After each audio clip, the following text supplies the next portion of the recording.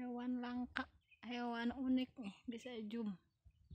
Baru lihat lagi nih yang kayak gini. Siapa yang tahu? Ayo ayo. Silahkan. Nih dia nyamperin. Mana sih? Ya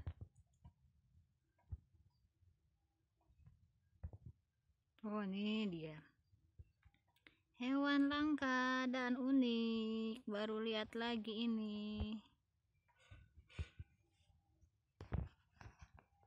Biar nggak ngeblur.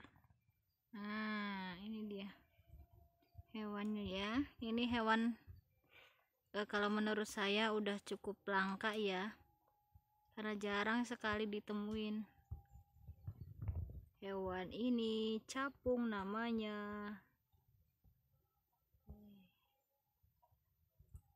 hewannya begini ada yang ada mitos ya kalau zaman dulu nih saya ingat zaman dulu. Kalau anak kecil tuh udah anaknya udah gede masih ngompol di kasur pusernya itu digigit pakai ini digigit pakai capung. Pusernya itu di biar dicapung yang gigit. Itu jam mitos zaman dulu nggak tahu benar apa mitos ya katanya bakal sembuh.